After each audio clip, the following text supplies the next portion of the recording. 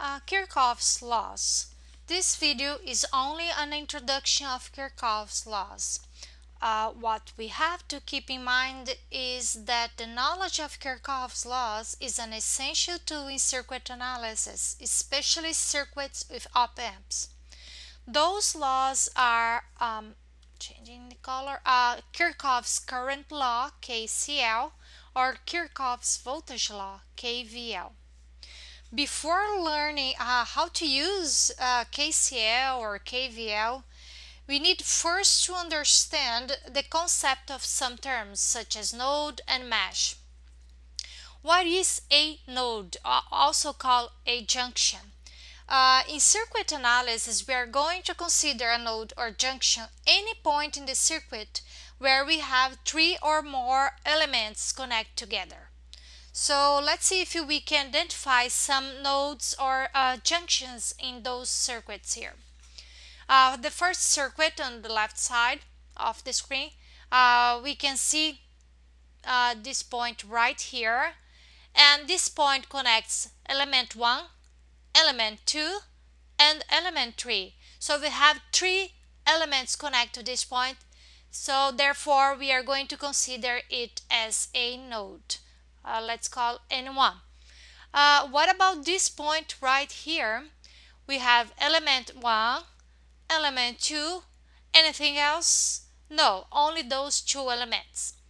Um, there's if you look on uh, the internet you are, you are going to see that some definitions say that a node is any point that connects two or more elements. Uh, however when we have only two elements connected by a point to a point uh, this is called a trivial node. And in circuit analysis is not useful uh, to analyze this node because there is no split of the current so we just ignore a trivial node. This is the reason I'm using as the definition of a node uh, anything any point in the circuit where we have three or more elements connect together. Uh, what about, uh, let me change the color here.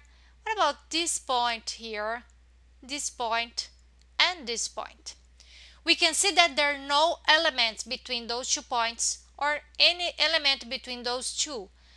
Um, if we look closely, we can see that in fact this point here, this point here, and this point here are all the same point. Uh, let me draw in a different way so you can see it. So here we have our circuit, only that I drew it in a different way, that now we can see that those three points, here, those points, this one, this and this, are the same point, and they are represented by this point down here. And uh, let's see if it is a node or a junction. We have we can see that R3 is connected to it, R2 is connected to it, and V1 is connected to it. So we have three elements connected to this point, and we can say that it is a node. Let's call N2. What about this circuit here? Uh, let's go, let's start by this point here. Uh, it connects R1, R2, and the current source. So we have three elements connected to this point it is also a node. In this case, let's call N1 for this circuit. Uh, what about down here? We have this point, this point, and this point here. And again, there is no, just like this circuit here, there's no element between those two points or between those two points. So we can see that those points here are in fact only one point, I moved uh, things around here so we can focus only on the uh, circuit we are analyzing right now. And uh, as I said, those three points here, they are all the same, uh, just like the first uh, example we saw.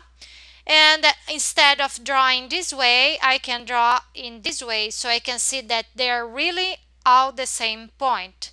Therefore, uh, if I analyze this point here, I can see that I have one component here, one here, one here. So I have three elements connected to one point.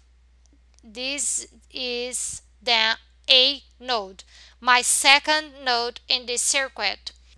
Another very important concept, it is the concept of mesh. What is a mesh? A mesh is a subset of a loop. So what is a loop? A loop is a closed circuit path.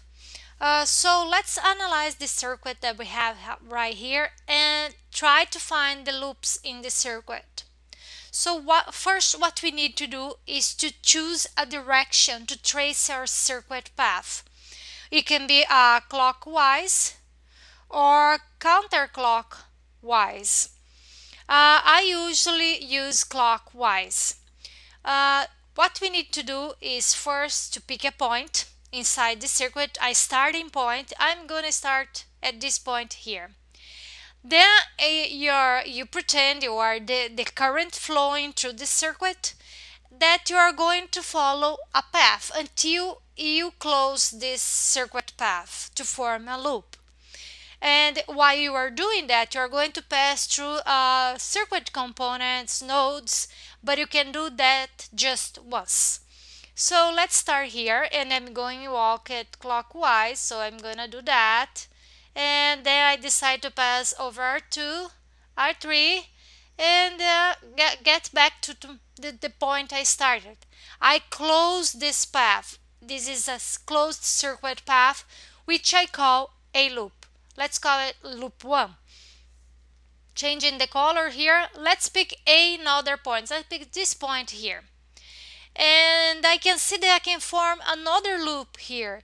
So going uh, clockwise again and I'll go go pass through the first voltage source uh, R1 and I can see if I pass through R2 I close my loop. And I have a second closed uh, circuit path that a second loop that I can call L2 so there are two main loops in this circuit but uh, there is another loop if you, let's pick another point here eh, that we call external loop. Suppose I pick this point. You can pick any point in the circuit. The you what you have to keep in mind is you have to go back to your starting point so you can close the loop close the circuit. And I, I'll do the same thing. I'll walk uh, clockwise and I pass through V1 through R1 Instead of doing the same path I did for L2 going down here to R2, I go straight. So I pass to R3 and I keep going, keep going, the circuit flowing and I found my starting point. And I close a third circuit path which I call L3 which is my external loop. So in this circuit I have and each of those loops will give me uh, different equations according to Kirchhoff's current law and Kirchhoff's voltage law. So now that we know how to identify loops in a circuit, uh, and uh, we can go back to the concept of mesh. So mesh is a subset of a loop. What that means? It means that mesh, it is a loop, but it is a loop that does not enclose any branch. So if we look to our three meshes in this circuit, so we have L1, which is, which is the red mesh, uh, red loop here, and we can see there is no branch inside L1. So L1 is also a mesh according to definition of mesh. What about L2? L2 is it is L2 a mesh? Uh, let's see uh, the, this is the, the L2 is the green uh, loop here and there's no branch inside L2 so is also a mesh. What about L3?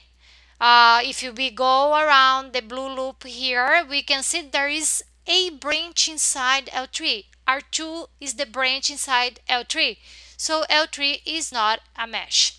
So we can see that this circuit has three loops and two meshes and the understanding um, the concept of mesh and loop, how to identify one from another, uh, is very useful to un circuit analysis, especially when we do uh, later on mesh analysis.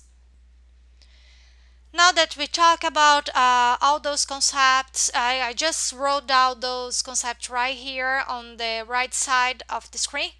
And uh, uh, just talking about a little bit of branches for those who don't remember or don't know what is a branch. If we look to this piece of circuit here and suppose I have a current flowing this direction when the current comes here is going to split between those uh, three paths here.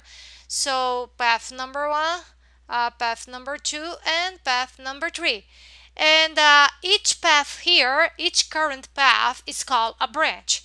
And uh, it has in this case the first current path has one component R1 but the second cur current path has two components. So if those components are in series they form the same branch. So this is what we have to understand from uh, the term branch. Let's use the knowledge we we have now to analyze this circuit. This is going to be our last example in this video.